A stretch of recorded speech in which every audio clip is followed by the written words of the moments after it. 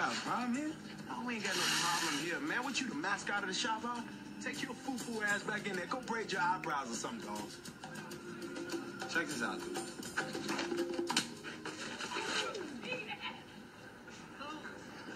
Hate violence.